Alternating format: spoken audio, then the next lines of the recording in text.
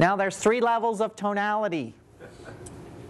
You can use nasal tonality, where the sound is up here in your sinuses.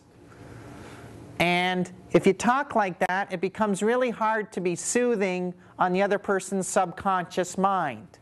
Imagine going to see a hypnotherapist who talked with this kind of tonality. I want you to relax breathe in, breathe out. And as you do, you're going to go deeper into trance. And in fact, what happens is nasal tonality kind of stays near the top of your head, make your hair stand on end a little bit. So it stands in the cognitive part of your brain. It's not really deep and persuasive. Then there's throat tonality.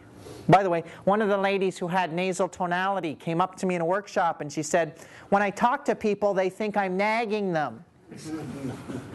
oh, really? I could see that. I can see what you mean. So, nasal tonality. Then there's throat tonality. You can speak from your throat. If you sing or talk for any length of time and you're uncomfortable, your throat will tend to constrict. And that's where you'll see people kind of take a big gulp because they're speaking from their throat.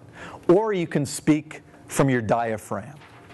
You can get that deep, resonant tonality.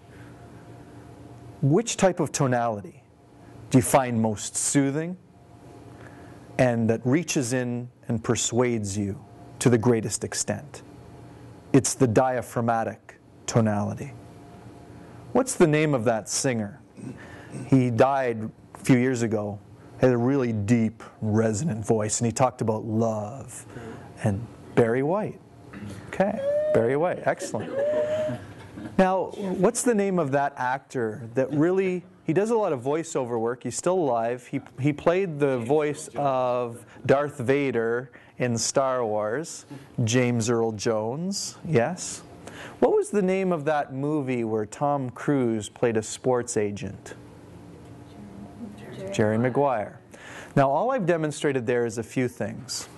Number one is any question I pose to you, your brain will go and search for the answer. And even if you didn't get the right answer, even if you didn't get Barry White and James Earl Jones, your mind still came up with answers. You thought of some other singer who had a deep voice or something. So your brain went and searched for the information. When I asked about the Tom Cruise movie, maybe you knew the movie, maybe you didn't, but your brain sort of started to pull up the files. Let's see, Tom Cruise, sports movies, you were searching for the information. The thing to remember is any question posed to your mind will always cause it to go and find the answer, even if it has to make one up. This is important to know because when you ask people questions, their mind will go and search for the answer. So, are you asking questions that unlock potential, or are you asking questions that limit potential? We'll talk about that more. So, the idea here is that the deeper your tonality, the more bass that you have in your voice, the more resonant your voice is, the more it bypasses the cognitive part of the brain and goes right into the brain stem. And it's at the brain stem level that you can get people to do what you want them to do. Now, some of you are thinking, well, if I show up at work tomorrow and I've lowered my voice down to this deep voiceover guy, you know, especially if you're a woman, you're saying, I want to have some femininity. I don't want to sound like I'm part of the Eastern European swim team from the 70s on steroids.